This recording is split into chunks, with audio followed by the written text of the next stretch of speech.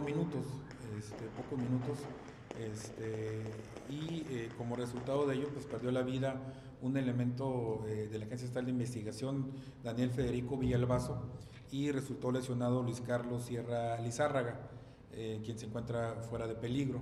se detuvo una persona, quien tiene como alias el Osuna, y quien era uno de los generadores de violencia en el Estado y distribuidor de narcóticos.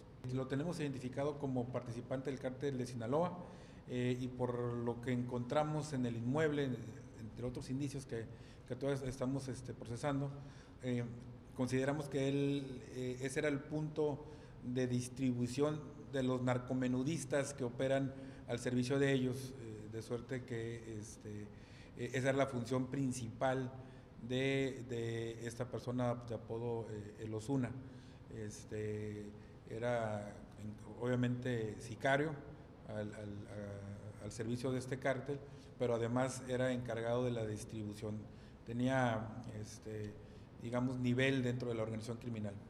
Era una investigación que llevaba bastante tiempo, eh, con elementos técnicos que permitieron establecer que esta persona seguramente se encontraba en el inmueble.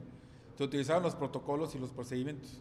Eh, el ingreso fue, eh, iban con este, con escudo balístico, con chalecos balísticos, pero bueno, las, así son, eh, obviamente que se va a analizar, se va a verificar si el, escudo balístico cumplía con las este, características eh, que ofreció la empresa que lo, que lo, eh, a la que se le adquirió, el chaleco también, en fin, eso es algo que se analiza en el dictamen de criminalística de campo, pero el protocolo para el ingreso fue el correcto. Lograron neutralizar a la persona que se encontraba en el inmueble eh, y quien era uno de los eh, objetivos de la Fiscalía General del Estado, porque sabemos que operaba en el tema de narcomenuteo y homicidios. Esa persona además contaba con una orden de aprehensión eh, porque ya había participado en la privación de la vida de otro elemento de la Agencia Estatal de Investigación.